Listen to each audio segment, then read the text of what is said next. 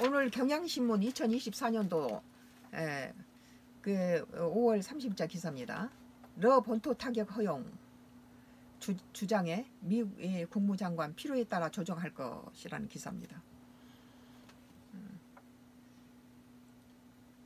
서방에서 우크라이나의 러시아 본토 타격을 허용해야 한다는 주장이 있다는 가운데 토니 블링컨 미국 국무장관도 29일 현지 시간 이 같은 요구를 수용할 가능성을 열어두는 발언을 내놨습니다.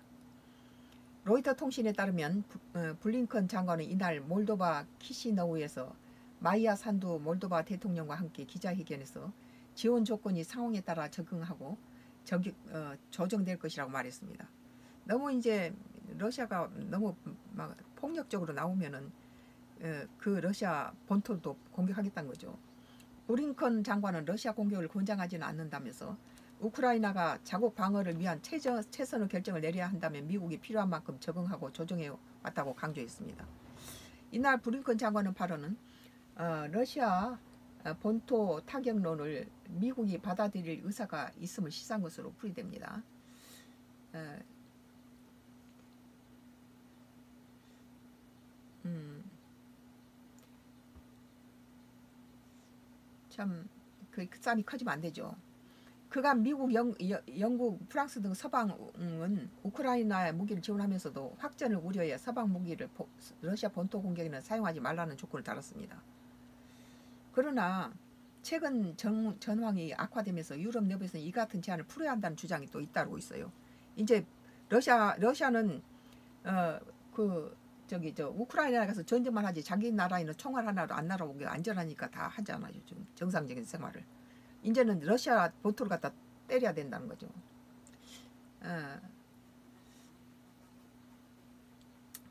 어, 브링컨 장관은 이날 적응 및 어, 조정이 우크라이나가 미국 무기로 러시아를 공격하는 것을 지지할 수 있, 다는 의미냐는 질문에 정확히 그렇다고 재차 밝혔습니다.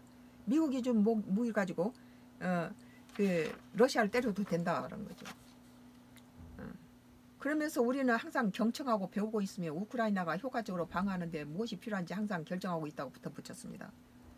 AFP 통신은 러시아 본토 타격을 금지하는 조건을 바꾼다고 밝힌 건 아니지만 요구에 수용적이라는 입장을 드러냈다고 설명했습니다. 너희들이 이제 공격하면 나 반대 안 할 거야 이런 식이죠. 브링컨 장관은 전날 브라디미르 푸틴 러시아 대통령이 서방 우크라이나에 러시아 본토 타격을 허용할 경우 심각한 결과가 있을 것이라고 경고한 일에 대해서도 우크라이나에 대한 지원은 푸틴 대통령이 우크라이나보다 오래 갈 수 없다는 걸 분명히 말해준다고 지적했습니다. 또 미국이 지원한 무기가 이제 전장에 공급되고 있다면서 전선 안정화에 도움이 되는 등 실질적인 효과를 내고 있다고 덧붙였습니다. 아, 나의 정치적 코멘트는 어, 우크라이나와 러시아 전쟁이나 예, 이스라엘과 하마스 전쟁에서 보았듯이 이들은 미국이나 우방들의 조언을 무시하는 무시하고 공격 공격에 제동을 걸 수 없는 것이 현실입니다.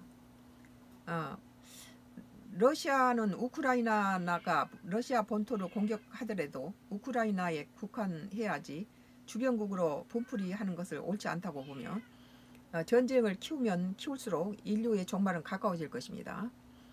어, 전쟁 중인 나라를 나라는 인내하며 대화하고 지구 인류 종말을 치닫는 전쟁을 중단해야 된다고 어, 나의 개인적인 주장입니다. 오늘 경향신문 2024년도 5월 30일자 기사 러 본토 타격 허용 주장에 미 국무장관 필요에 따라 조정할 것이라는 기사에 대해서 나의 정치적 코멘트를 했습니다.